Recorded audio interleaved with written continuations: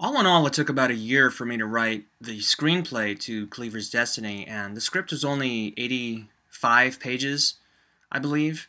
Um, so fairly short by screenwriting standards. They say 120 is the standard. The very first thing I do when I'm writing is come up with the idea, of course, but then just take a lot of notes. Just fill up notepads and and uh, legal pads with just random notes and ideas, and over time, over several months, um, a structure emerges, at least from when I do it, hopefully a structure will emerge.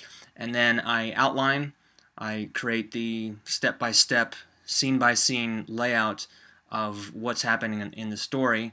Because I don't just go to screenplay format and final draft on the computer and sit down and write a script. I want to know beforehand what's happening.